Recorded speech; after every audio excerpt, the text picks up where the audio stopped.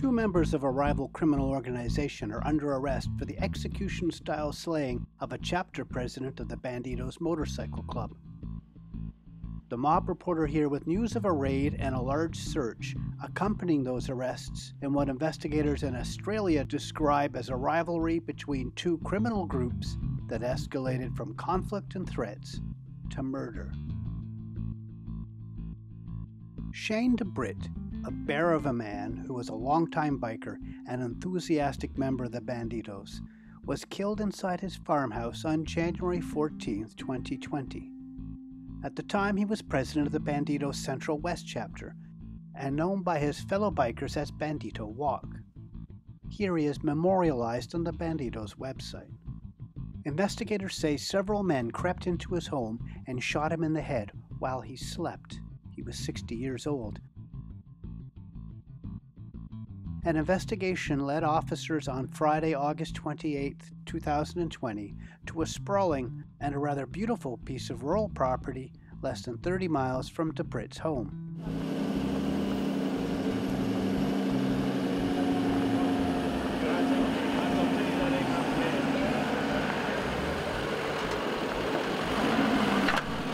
There they arrested two men, one age 58 and the other 39.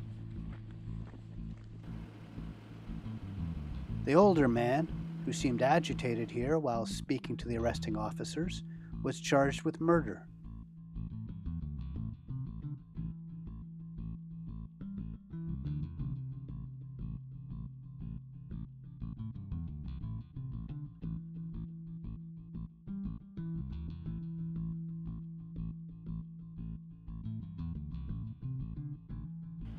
The younger man was charged with accessory after the fact to murder.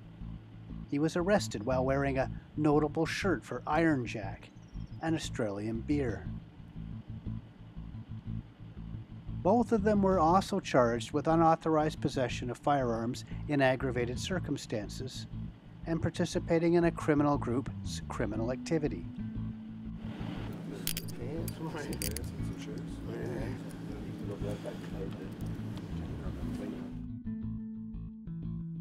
They were not alone in this plot, investigators said. The head of the homicide squad wouldn't say whether it was a rival biker club, but did allege that these guys were part of a criminal group in conflict with the Bandidos. Here is some more of what Detective Superintendent Danny Doherty of New South Wales Police said. We'll allege that the uh, people that we've ar- arrested um, have links to um, a criminal group and they were in conflict with the uh, Bandidos OMCG. Uh, that's still being investigated as we speak. Um, however, um, what ended up being uh, threats and a conflict escalated very quickly into the execution style murder of the uh, president of the OMCG of the Central West chapter of Bandidos. They, we believe that there's, uh, and there's information suggests that other people assisted in the planning of this murder. People were, other people were present during the uh, murder, and also other people were there after the murder assisting them. The property required a substantial search by air and ground using dogs, marine units, and lots of officers with rakes.